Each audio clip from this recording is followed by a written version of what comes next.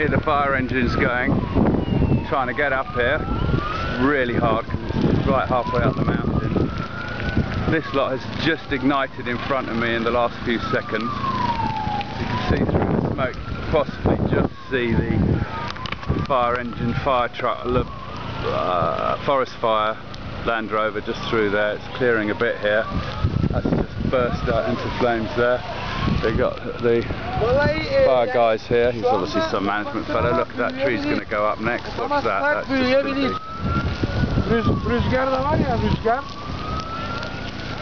Gonna have to get out of here. I think it's looking a bit dangerous.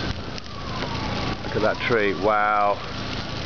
That's Do you know who lives in that house? No, I've no idea. Um, no idea.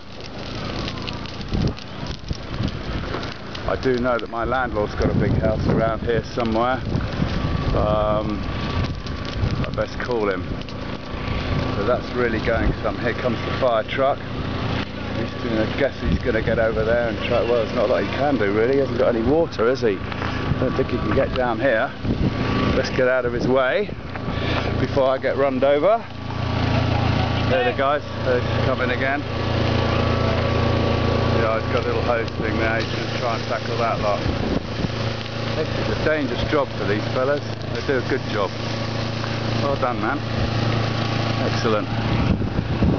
Other firefighters struggling away. Okay, I'm going to have to get out of here, guys. MarcosTheChef.com, signing off from a big forest fire.